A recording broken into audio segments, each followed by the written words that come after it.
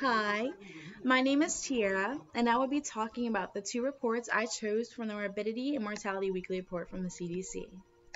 For my two reports, I chose report number one and number five. Since number five is the easiest to talk about and run through, I would go ahead and dive into that. The title of my first report is The Increase in Meningococcal Disease Among Persons with HIV. Meningococcal disease is the disease being reported in the CDC report. Meningococcal disease is a potentially fatal condition that commonly manifests as meningitis or meningococcemia. this report states that meningitis' most common signs and symptoms are fever, headache, and stiff neck. Meningococcemia's most common signs and symptoms are fever, chills, vomiting, fatigue, diarrhea, chilly hands and feet, and severe aches or discomfort. The population group stated in this report was people with HIV. Reading through this report, I thought it was interesting that it states that based on preliminary data, 29 meningococcal disease cases have been reported among persons with HIV in 2022, accounting for 9.8% of all cases. Among the 29 meningococcal diseases cases among persons with HIV in 2022, 22 had not received the MenACWY vaccine. Six had unknown MenACWY vaccination history, and one had received the MenACWY vaccine, but the number of doses received was unknown. 15 of the 29 cases were part of a large serogroup C outbreak that occurred primarily among men who have sex with men, also known as MSM. However, after excluding MSM outbreak associated cases for all years, a substantial increase in meningococcal disease cases among persons with HIV in 2022 remains. It is crazy to me that only 7 people out of 29 people had received the meningitis and blood poisoning vaccine. This low number of vaccines probably caused an increase in cases of meningococcal disease, causing the outbreak that occurred among men who were having sex with men. The metrics that were used in this report were prevalence. The report goes on to discuss how among the 14 cases of people with HIV in 2022, eight of those nine cases occurred in African American people, and seven occurred from men having sex with men. The environmental influences that I saw that were also discussed were how the nine cases caused by a single strain were reported from three states with no identified connection among the cases. The remaining five cases were not clustered geographically and had no identified epidemiological epidemiologic connections.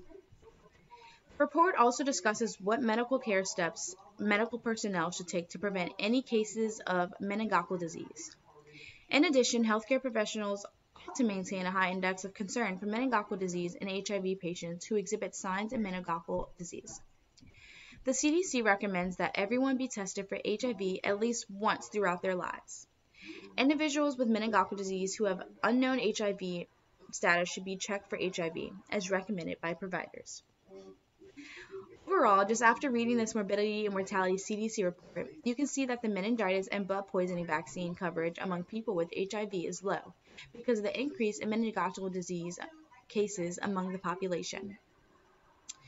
The population group, which is again the people with HIV, people may have uh, social or economic factors that could add to why they are not receiving the MenACWY vaccine. If individuals and healthcare professionals work together and follow up with these correct precautions, they can help prevent men from becoming another one of these cases.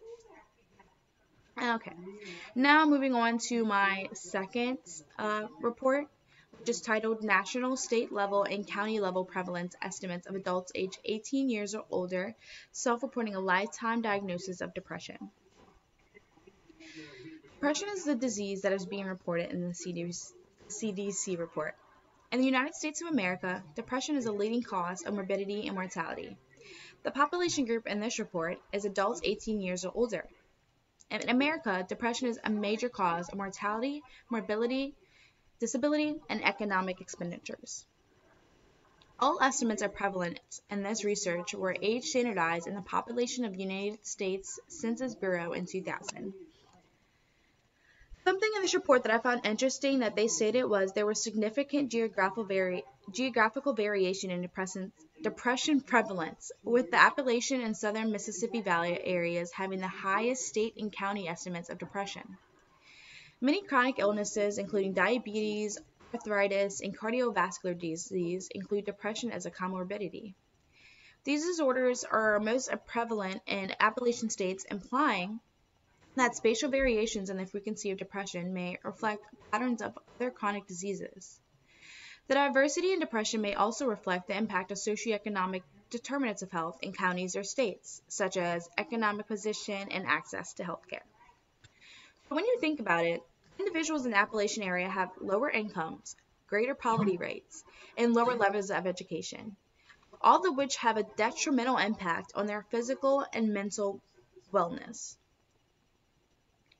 Efforts at the population level to address depression prevention, treatment, and management include personalized and targeted initiatives to address demographic and geographic inequities.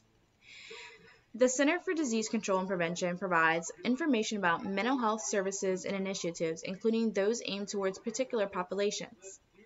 This report discusses how the CP, presents a list of suggested treatments to communities in order to enhance mental health or manage mental illness. Collaborative care for the management of depressive illness, mental health benefits legislation, school-based cognitive behavioral therapy programs to improve depression and anxiety symptoms, and depression care management among older persons are examples of recommended interventions. It also mentions how young individuals aged 18 to 24 years had the greatest prevalence among those who had previously been diagnosed with depression by a healthcare professional. According to data from the National Survey on Drug Use and Health, Previous year depression grew, and most significantly among teenagers aged 12 to 17 years and young adults aged 18 to 25 years, from 2015 to 2019. In the report, it states that the age standardized prevalence age standardized prevalence of depression among U.S. adults was 18.5%. Age-specific prevalence of depression was highest amongst those 18 to 24 years, which was 21.5%, and lowest among those aged 65 years or older, which was a 14.2%. The age-standardized prevalence of depression was higher among women, which was a 24% compared with men, among which was a 13.3%.